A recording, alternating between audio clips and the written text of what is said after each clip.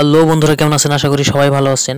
আজকে আমাদের এই ভিডিওর মূল আলোচনার বিষয় হলো যে আমরা ভোটার অ্যাপ্লিকেশন এবং ভোটার কারেকশনের জন্য আবেদন করার পর আমাদের আবেদনটা অ্যাকসেপ্ট হলো কিনা রিজেক্ট হলো, এটা যদি আমরা দেখতে চাই, তো মোবাইল দিয়ে কীভাবে দেখব? তো বিস্তারিত জানতে ভিডিওটা প্রথম থেকে শেষ পর্যন্ত দেখবেন, স্কিপ না করে এবং আমার চ্যানেলে নতুন হলে সাবস্ক্রাইব করে আমার সঙ্গে। আমরা ভোটের নাম যখন নতুন করে তুলি এবং আমাদের নাম যখন কারেকশন করতে চাই, তো তখন কিন্তু আমাদের মনে সবসময় প্রশ্ন জাগে যে আমরা আমাদের অ্যাপ্লিকেশনটা অ্যাকসেপ্ট হয়েছে কি না রিজেক্ট হয়েছে। তো আমরা কিন্তু জানতে পারি না। তো আজকের এই ভিডিওটা দেখলে কিন্তু আপনারা আপনাদের মোবাইল দিয়ে খুব সহজভাবেই জানতে পারবেন যে আপনাদের অ্যাপ্লিকেশন অ্যাকসেপ্ট হয়েছে না রিজেক্ট হয়েছে। তো দেখার জন্য আপনারা মোবাইলে ক্রোম ব্রাউজার ওপেন করে নেবেন। তো ক্রোম ব্রাউজার ওপেন করে নেওয়ার পরে সার্চ বারে সার্চ করবেন এনভিএসপি ডট আইএন তো এনভিএসপি ডট আইএন লিখে সার্চ করে দিবেন। তো আর আপনাদেরকে একটা রিকোয়েস্ট করব, আমার চ্যানেলে যদি নতুন হন তাহলে প্লিজ চ্যানেলে সাবস্ক্রাইব করে আমার সঙ্গে থাকবেন। তো এনভিএসপি ডট আইএন লিখে সার্চ করার পর কিন্তু আমাদের সামনে ন্যাশনাল ভোটার সার্ভিস পোর্টালের অফিসিয়াল ওয়েবসাইটটা ওপেন হবে এইভাবে। তো ওপেন হওয়ার পরে আমাদেরকে সাধারণভাবে স্ক্রল ডাউন করে নিচে চলে যেতে হবে। তো নিচে চলে যাওয়ার পর দেখতে পাবেন ট্রেক অ্যাপ্লিকেশন স্ট্যাটাসের একটা অপশন থাকবে। তো ট্রেক অ্যাপ্লিকেশন স্ট্যাটাসের যেটা অপশন আছে সেই অপশনের উপর ক্লিক করেই কিন্তু আমাদেরকে নতুন ভোটারের আবেদন এবং কারেকশন করার জন্য যে আবেদন করেছি সেই স্ট্যাটাস কিন্তু এখানে দেখতে পারব অ্যাকসেপ্ট হয়েছে না রিজেক্ট হয়েছে।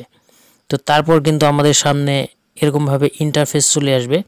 আসার পর এখানে দেখতে পাবেন সার্চ বাই রেফারেন্স নাম্বার তো এখানে কিন্তু আমাদেরকে রেফারেন্স নাম্বার দিয়ে সার্চ করে দেখতে হবে। তো আমরা যখন অ্যাপ্লিকেশন করেছি তখন কিন্তু আমাদের অ্যাপ্লিকেশন ফর্মে কিন্তু রেফারেন্স নাম্বার একটা থাকে।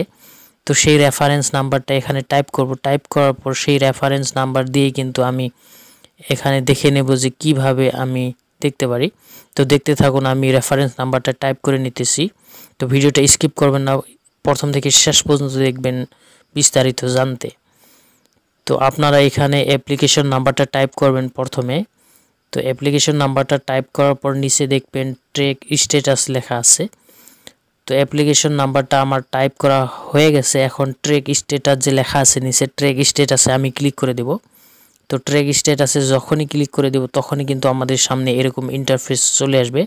তো এখানে প্রথমে আমরা দেখতে পারব সাবমিটেড তো কত তারিখে সাবমিট করেছি আমি অ্যাপ্লিকেশনটা তারপরে দেখব বিএলও অ্যাপয়েন্টেড বিএলওর কাছে কত তারিখে চলে আসছে, তারপরে দেখতে পারব ফিল ভেরিফাইড তো ফিল ভেরিফাইড হওয়ার পর লাস্টে যেটা অপশন থাকবে অ্যাকসেপ্ট বাই রিজেক্ট তো অ্যাকসেপ্ট বাই রিজেক্টে যেটা অপশন আছে, এই অপশনে যদি গ্রিন কালার হয়ে থাকে, প্রথম যে দুটো অপশন গ্রিন কালার দেখতে পারতেছেন, এরকম যদি গ্রিন কালার হয়ে থাকে, তো সেই ক্ষেত্রে আপনাদের বুঝতে হবে যে আমার অ্যাপ্লিকেশন অ্যাকসেপ্ট হয়েছে, অন্যথা যদি রেড কালার থাকে, আপনাদের অ্যাপ্লিকেশন কিন্তু রিজেক্ট হয়ে যাবে। তো এইভাবে কিন্তু আপনাদের অ্যাপ্লিকেশন স্ট্যাটাস দেখতে পারেন মোবাইল